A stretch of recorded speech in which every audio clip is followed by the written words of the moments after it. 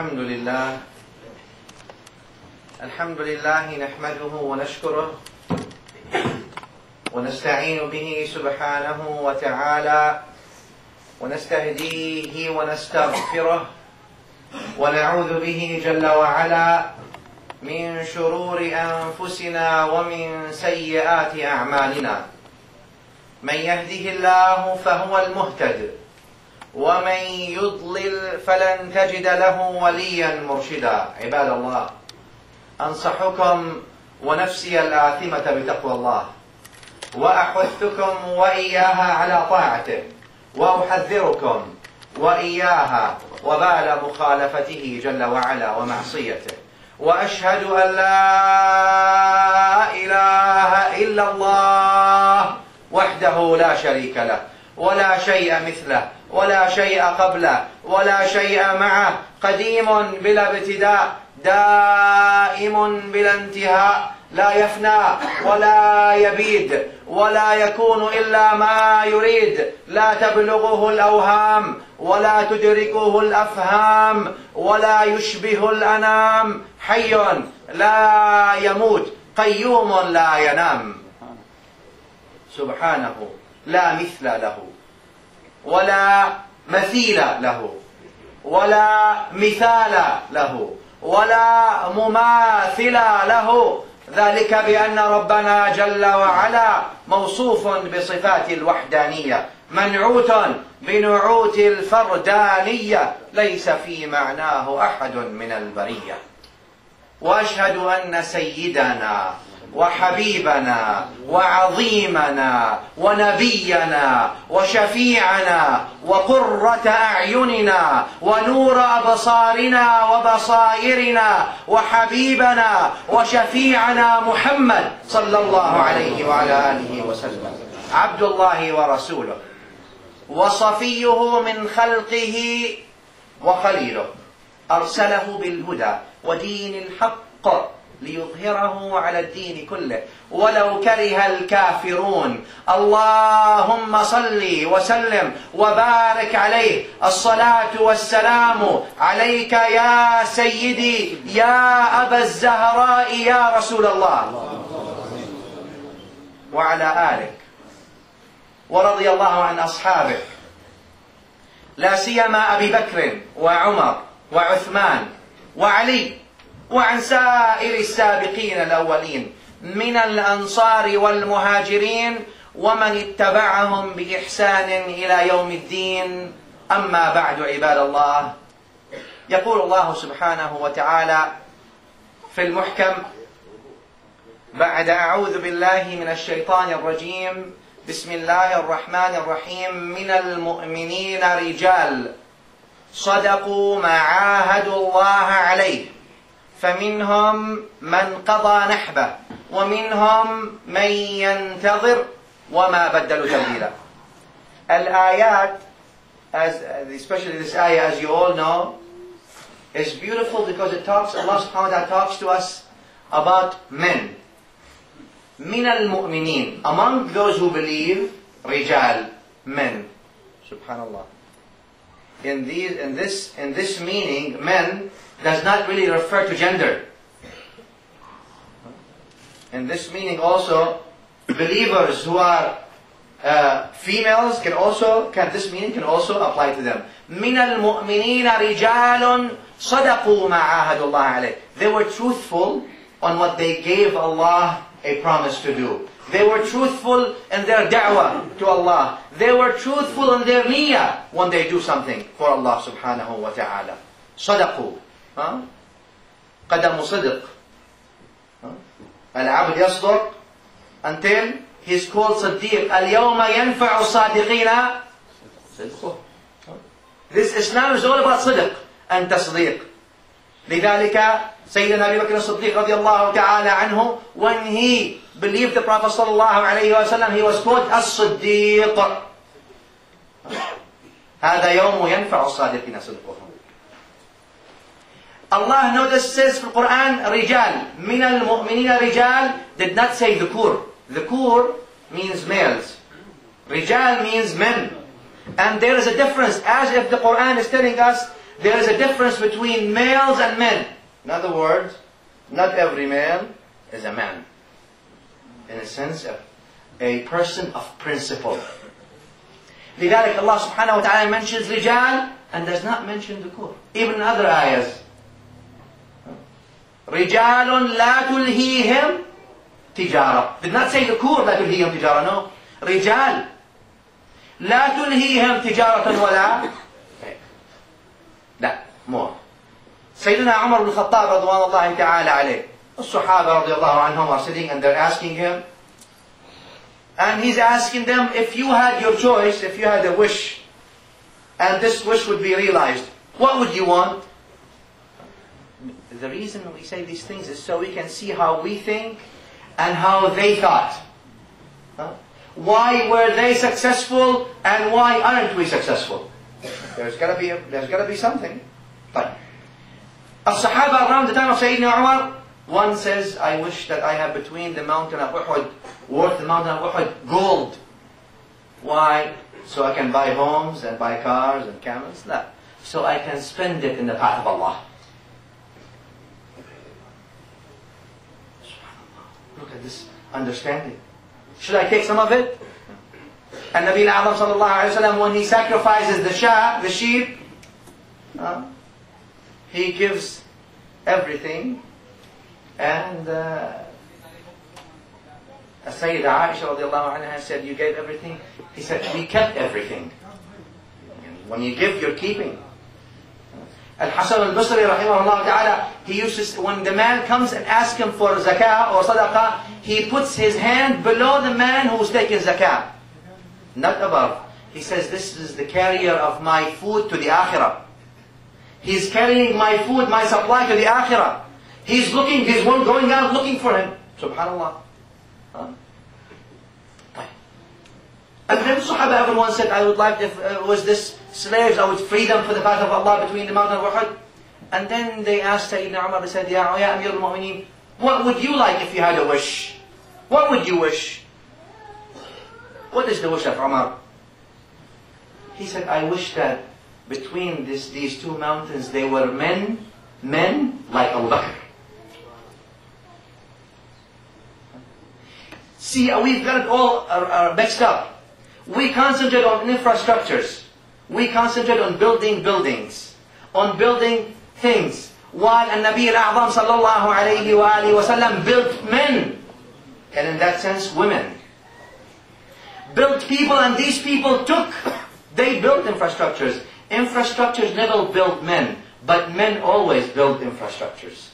We have it the other way around, subhanAllah. And Nabi al-A'zam sallallahu alayhi wa sallam, 13 years in Mecca. The first 13 years of Mecca, what was he doing? Building people. Coming out of Mecca with 70, less than 100 men.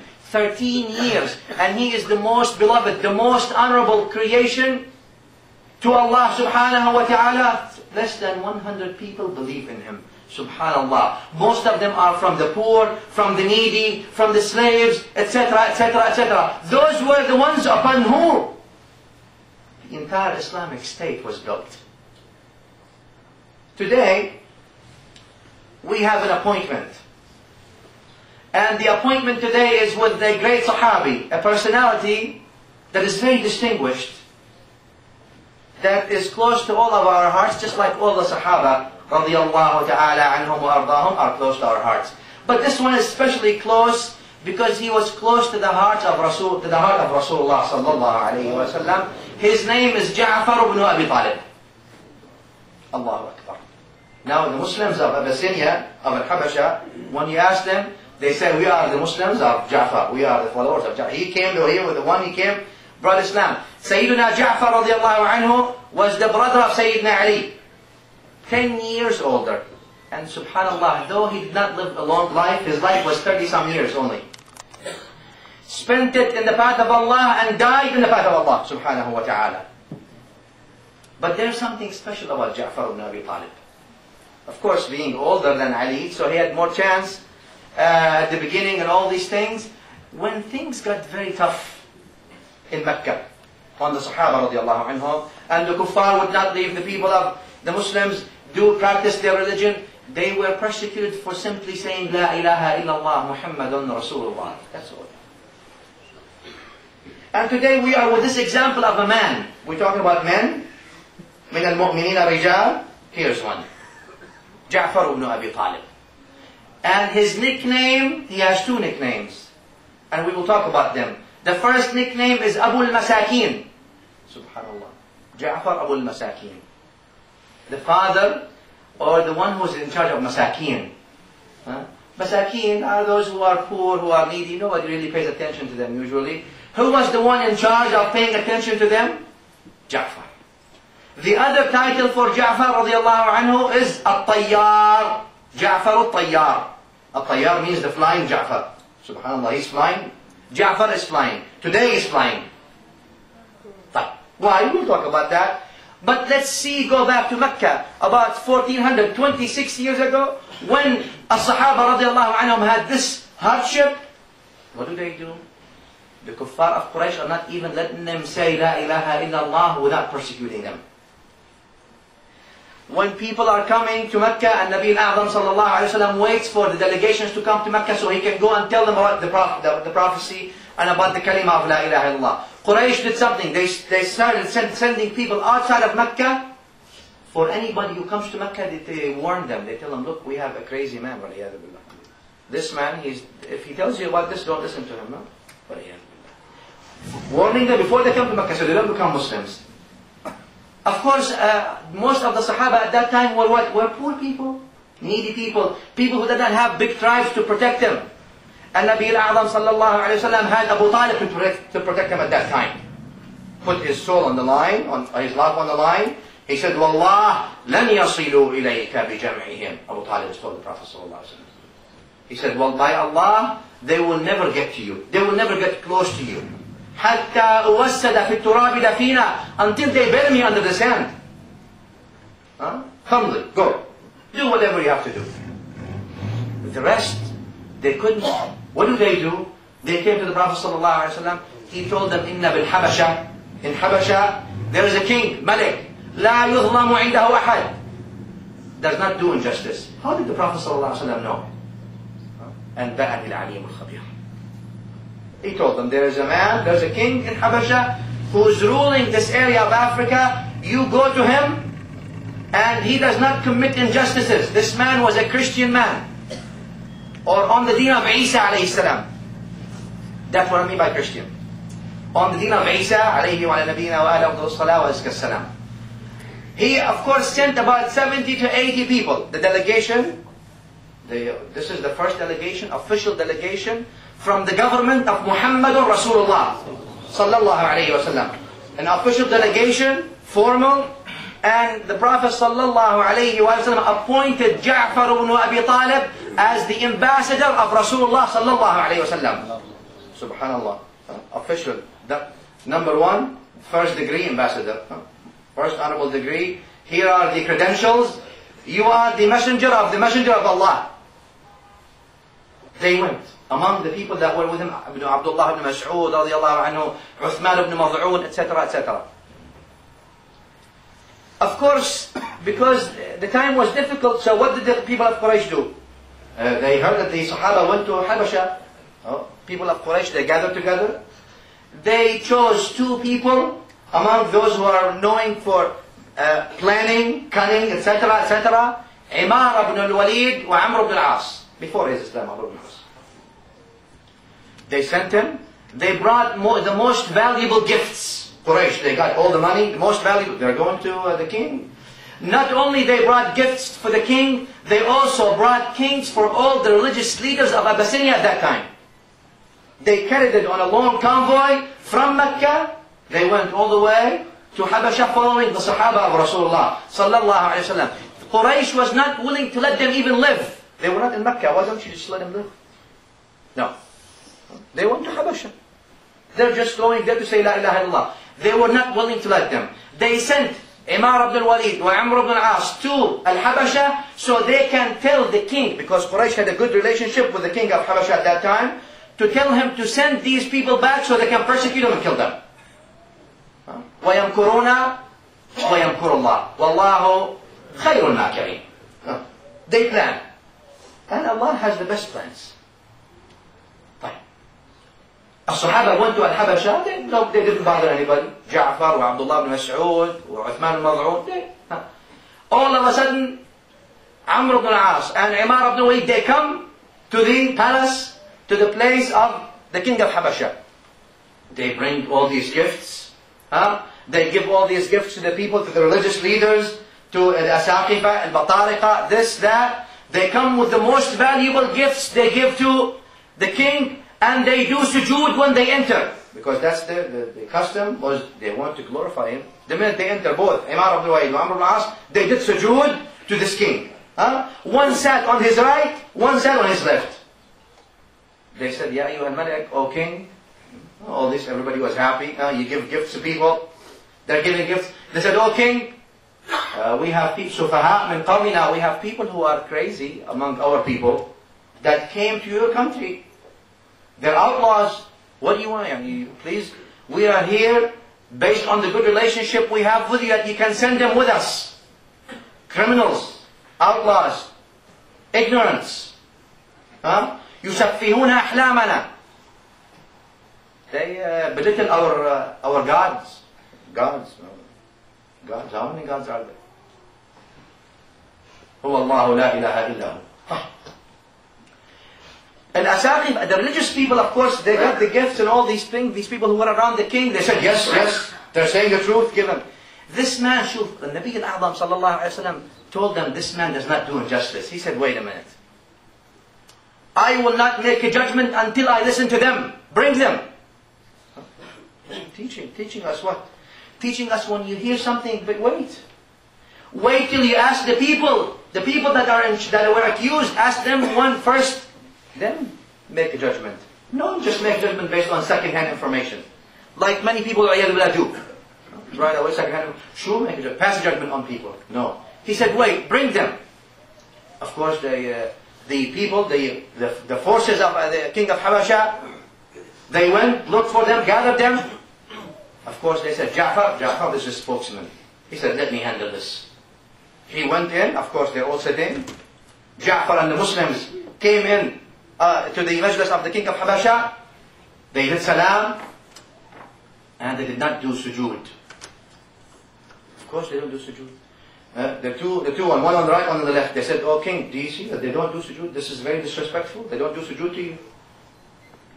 The people they said, "Why don't you do sujood to the king?" They said, "We only do sujood to Allah." Our sujood only to Allah subhanahu wa ta'ala. They said, uh, you're doing sujood to Allah? They said, uh, why? He said, they, Ja'far told him, because we have a prophet came to us when we used to worship different gods and make sujood to them, and he told us to make sujood to only one God and pray and do zakah. That's not a good answer. So what did they do? These two. They said they don't believe in Isa, your prophet. They don't believe in him. What do you say about Isa? What do you say about Maryam? Ja'far said, let me handle this. And then he started, Bismillah ar-Rahman ar-Rahim. كافها يا عين صاد ذكر رحمة ربك عبده زكريا إذ نادى ربه نداء خفيا and he with his beautiful voice reciting the Quran of كافها يا عين صاد in front of the whole the whole majlis until every single one in there was crying including the king with his tears covering his beard he said Wallah these people believe in the same God I believe in and Al-Dhahabi narrates in his seerah, he said, Wallah, that the king said. The king told his people, Wallah, if I did not have all these responsibilities of the kingdom, I would be going to their prophet to carry his shoes for him. To carry his shoes, sallallahu alayhi wa sallam. Shoes. The honor of carrying the shoes of Rasulullah sallallahu wa alayhi. This is an honor, this is a medallion. It's not for anybody. It's not meant to be for anybody anyway. Huh? Anas ibn Malik anhu says, I am the one who used to hold the shoes of Rasulullah everywhere he goes. Look at this. uh, this is an honor. Subhanallah. Of course, things happen, and the Muslims come back, alhamdulillah, return, after the conquering of Khaybar. As you know, Khaybar was something really big. And the Muslims were all waiting, and this was detriment to, to Muslims. Ja'far comes back, radiallahu anhu, Ja'far ibn Abi Talib comes back, and he comes to back to Medina. It coincides when with the Prophet ﷺ was returning from Khaybar victorious. And he looked at him and he smiled and he kissed him right on the forehead between his eyes. And he said, I don't know which one I should be happier for. The conquering of Khaybar or the coming of Ja'far. لا أدري أيهما أشد فرحا أنا أشد فرحا بقدوم جعفر أم بفتح خيبر which one is more more closer to me سبحان الله there was an incident and I, we're just passing through we're going to finish inshallah pretty soon but we're passing through through the life of this great Sahabi رضوان ta'ala alayh and the, the scenes are so beautiful this though 30 some years but it's filled with action filled with uh, accomplishments filled with giving to people. Because, dear brothers and sisters, life is not about how many days you live. Not about how many days.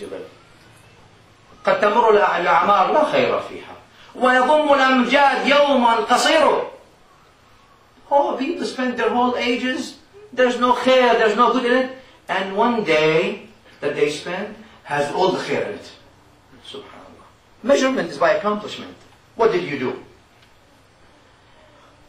Of course, uh, the inc- one incident where there was the daughter of Hamza radiallahu ta'ala anhu, and uh, three people wanted to take custody of her, or basically support her, if we were to say that.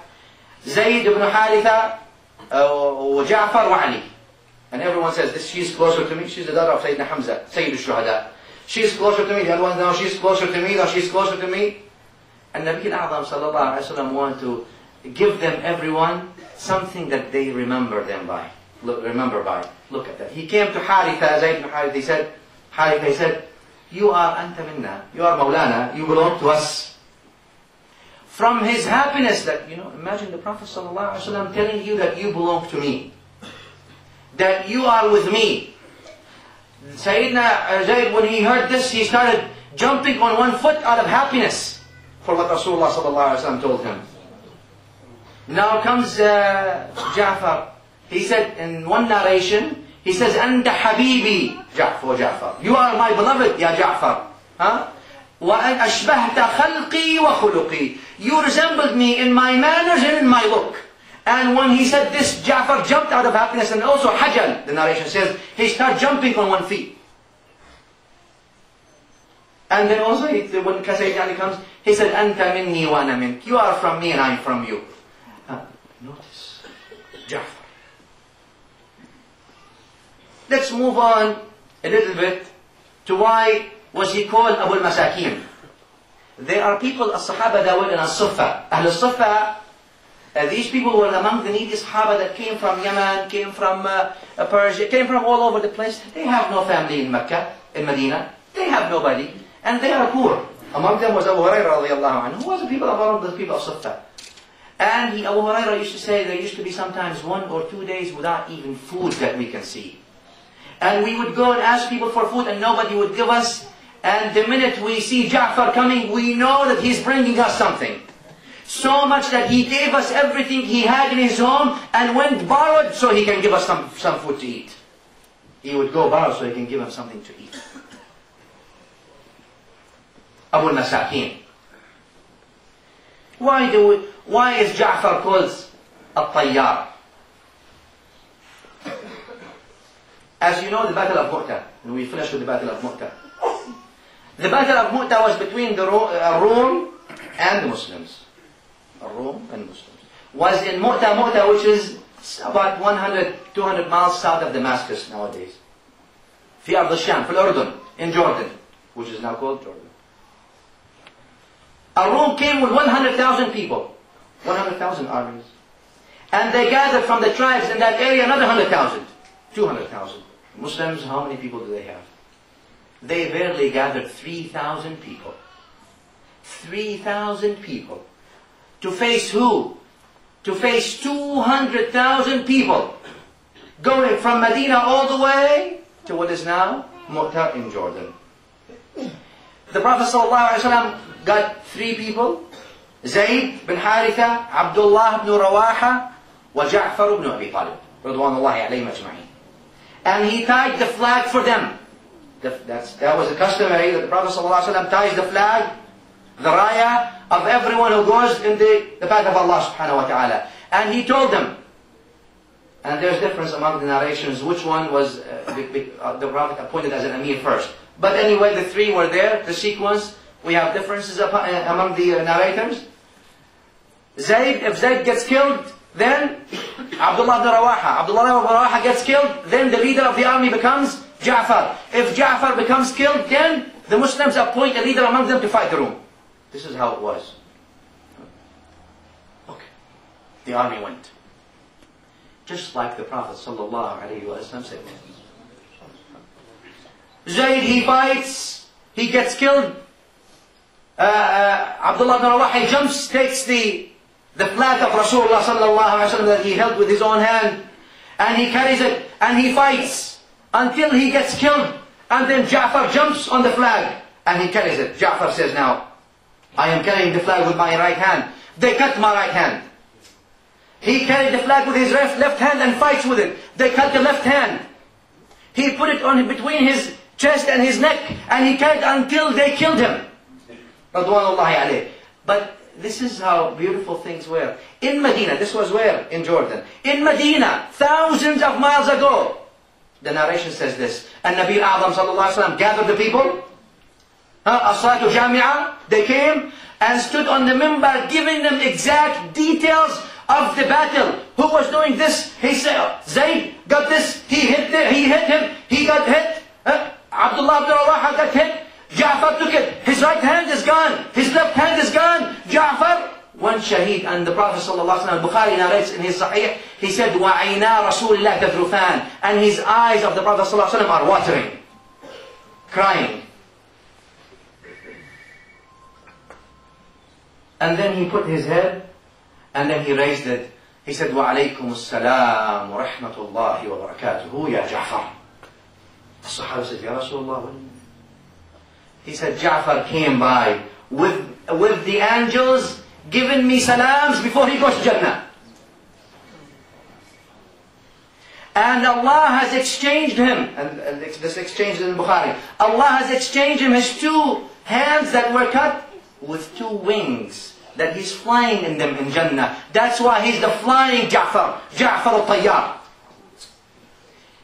Al-Bukhari narrates in his Sahih that Abdullah ibn Umar radiallahu anhuma, he says, we stood in front of Ja'far when he fell on the, in the battlefield and we counted more than 70 hits all in the front, nothing in the back.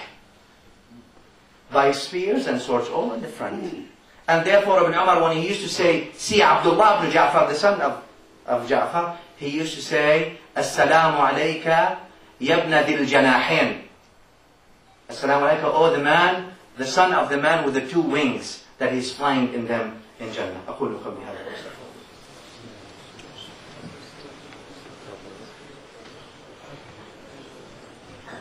الحمد لله حمدا كثيرا كما أمر وأشهد أن لا إله إلا الله وحده لا شريك له العظام لمن جحد به وكفر وأشهد أن سيدنا محمدا صلى الله عليه وعلى آله وسلم خاتم الأنبياء المعتبر صلى اللهم وسلم وبارك على هذا النبي وعلى آله أهل الفقه والنظر والعلم والأثر وعلى من باثاره مختفى معتبر.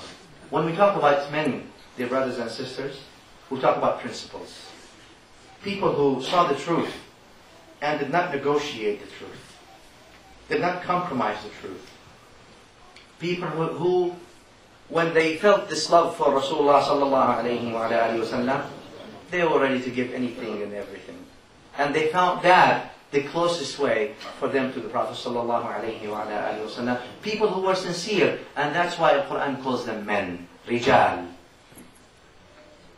Those who fell in the love of Rasulullah, عشق Rasulullah sallallahu alayhi wa That's why they say, the poet, الرواس الرفاعي رضي الله تعالى عنه وارضاه, he says, إن للعاشقين منا رجالا هم رجال شكلا شكلا ومعنى جبال Among us, those who love Rasulullah sallallahu alayhi wa they are men, but they are men only in their, what, what appears. Actually, they are mountains. اللهم صل على سيدنا محمد وعلى سيدنا محمد كما صليت على سيدنا إبراهيم وعلى آل سيدنا إبراهيم. بارك على سيدنا محمد وعلى آل سيدنا محمد. كما باركت على سيدنا إبراهيم وعلى آل سيدنا إبراهيم في العالمين إنك حميد مجيد. اللهم انصر الإسلام والمسلمين. أعلي يا مولانا كلمة الحق والدين. اللهم من أراد بالإسلام والمسلمين خيرا فوفقه إليه. من أراد بهم غير ذلك فاجعل دائرة السوء عليه. اللهم رد المسلمين إلى دينك ردا جميلا. آت أنفسنا تقواها وزكها أنت خير من زكاها. أنت وليها ربنا ومولاها. اشف اللهم مرضانا وعاف مبتلانا. فك أسرانا وارحم موتانا. اغفر اللهم لنا ولآبائنا ولمشايخنا ولمن له حق علينا ولمن على الخير أعاننا ولمن عن الشر أبعدنا ولمن أوصانا بالدعاء. وصلى الله وسلم على سيدنا محمد وآله. أقيم الصلاة.